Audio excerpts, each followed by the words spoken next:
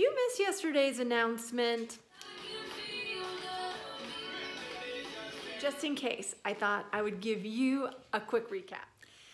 The accidental psychic is going brick and mortar, which may sound completely insane for some people, but here's the thing. I'm not putting a neon sign on a street corner. Let's just start there. There will be no neon sign psychic readings. Two, it's not just me.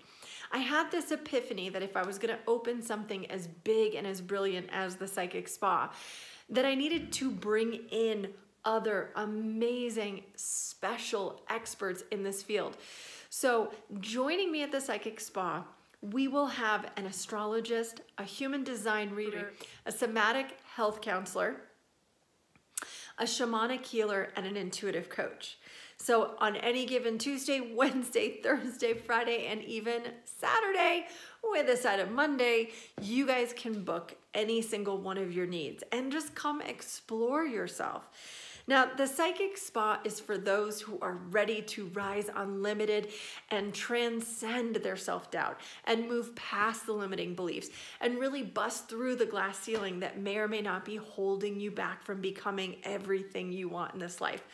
The Psychic Spa and Rise Unlimited is committed to seeing you get everything that you are here to receive in this lifetime. You may be curiously wondering, where is she opening this brick and mortar? Well, let me tell you.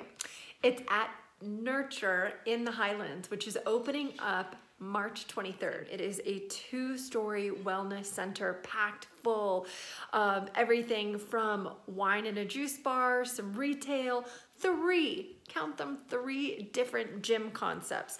A place to drop a little child off so that you can go get your hair done or facial or come see me and get a psychic reading. You'll have the opportunity to test out a salt cave. You can get acupuncture, meet your therapist there. We have something for everybody at Nurture. And inside the construct of this two-story thing will be the Psychic Spa. I hope to see you guys there. Peace in.